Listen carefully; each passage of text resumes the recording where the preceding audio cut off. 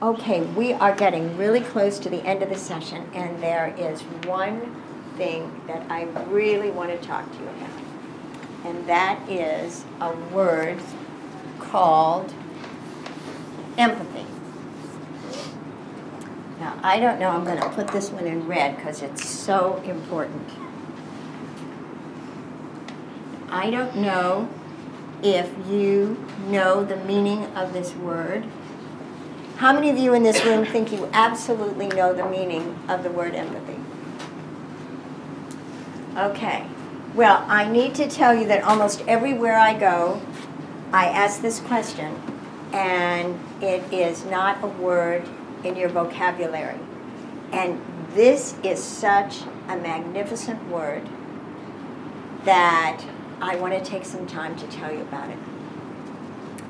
Empathy is the capacity that each of us has to put ourselves in someone else's situation, to be in their skin, to imagine what it feels like to be going through what they're going through. Do you, do you, do you understand that concept? Like, for instance, if you broke your arm and you had to go to school in a cast, and you knew what that was like, and then a month or two later, somebody comes to school and they've got their arm in a cast, you could have lots of empathy because you know exactly what they're going through.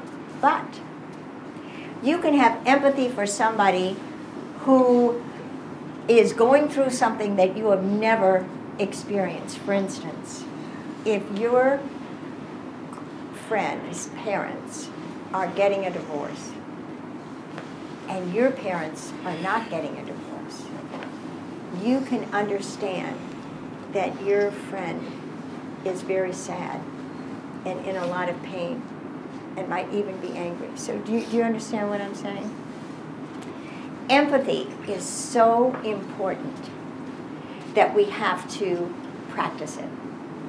So what I'm going to do now is I'm going to ask everybody in this room to please close your eyes.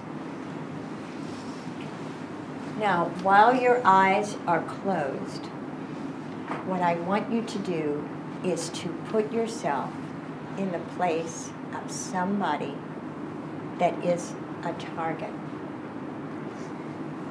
Somebody that you know,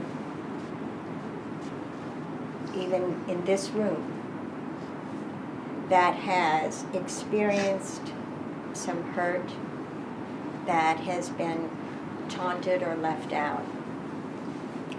I want you to put yourself inside that person's skin and I want you to feel what it is like to be in their place.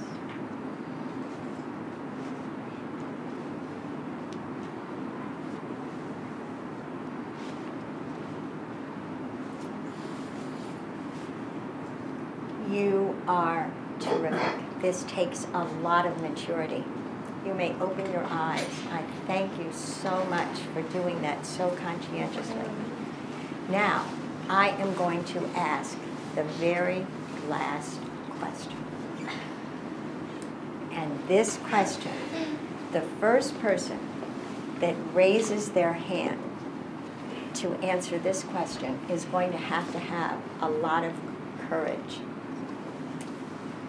So I am counting on someone in this room who has listened to everything that has been shared here this morning. I want to know if there is someone in this room that would like to make amends to somebody. Maybe something you've done, something you've said, something you didn't do. I would like to know who in this room would be willing to apologize to somebody for something that you've said or done. Andy, would you, could you stand up, please? Because this takes a lot of courage.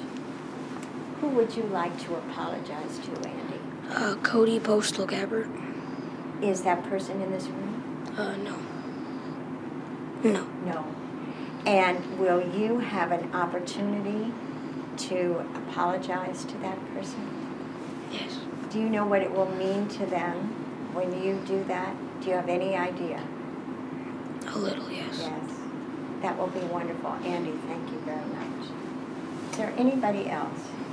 Kane, Matt, would you stand up? Thank you. I just want to say sorry to Matthew for making fun of his size. Matthew, would you stand up? Thanks. Thank you. Matthew, Kane has apologized to you. And do you accept his apology? Sure. You do. Thank you both very, very much. I appreciate that. Tyler, Um, Andy, because he was uh, bending his finger and I pushed it real hard and he ended up splaining it. So. whereas Andy, Tyler is apologizing to you for something that he did to your finger. You remember that?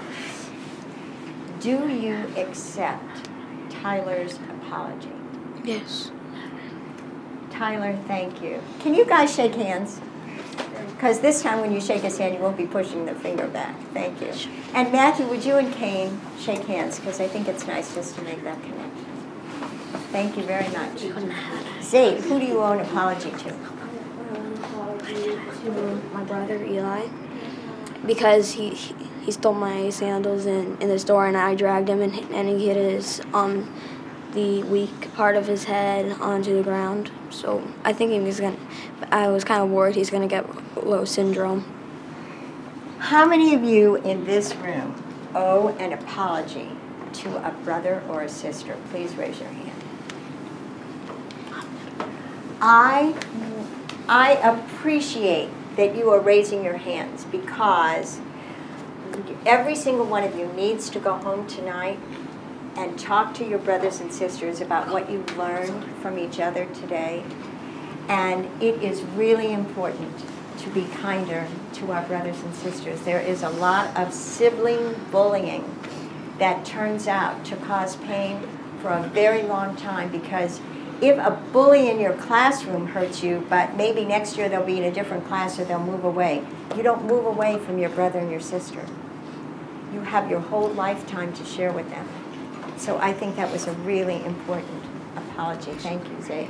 Now, I am curious because not a single girl has raised their hand to make an apology.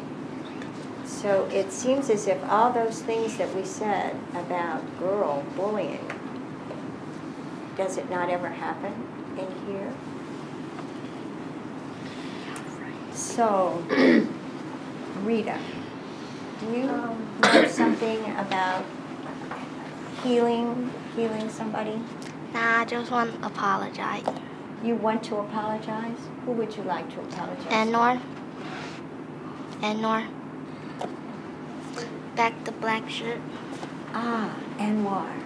Would you stand up, Anwar? Rita, would you stand up? Yesterday I say something bad to Enor because I'm so sad I lost my iPod. So I just want to apologize to him. Okay, this is really special. Rita is not only apologizing to Anwar because she took her pain out on him, but she is sharing with us something that we've talked about this morning that sometimes when we're in pain, we take it out on other people. So instead of dealing with her loss, about you lost your iPod, oh my gosh, we can all identify how that would hurt, right? But she took it out on you, Anwar, and now she is feeling very guilty about that, and she is apologizing. Do you accept her apology? Thank you.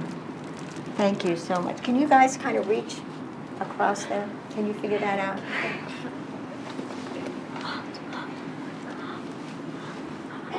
Thank you.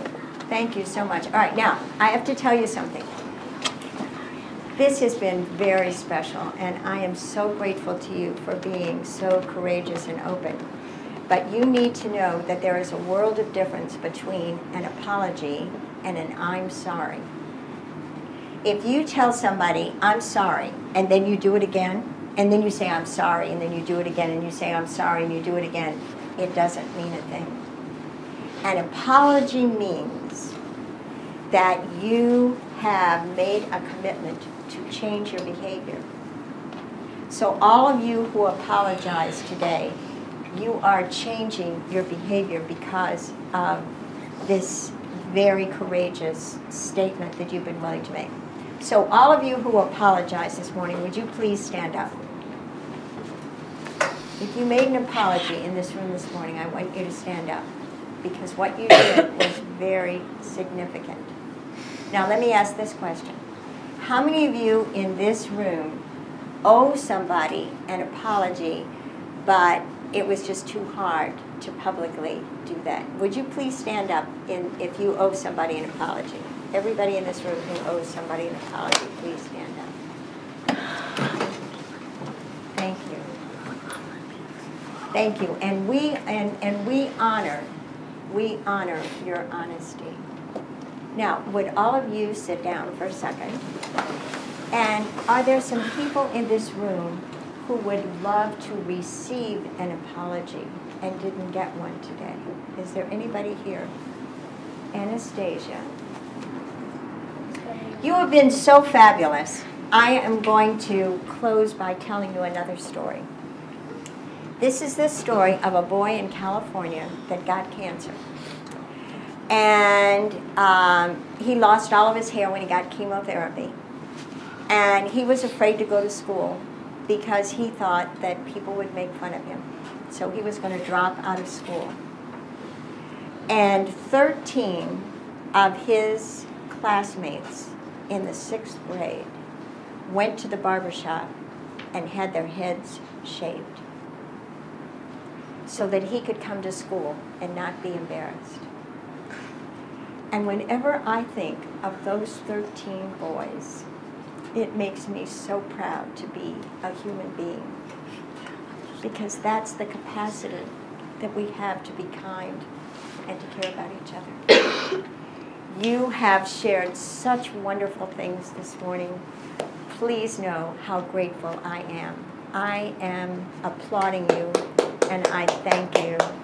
And I hope you have a wonderful life and a wonderful summer and stop the pain and be kind. Thank you. Thank you.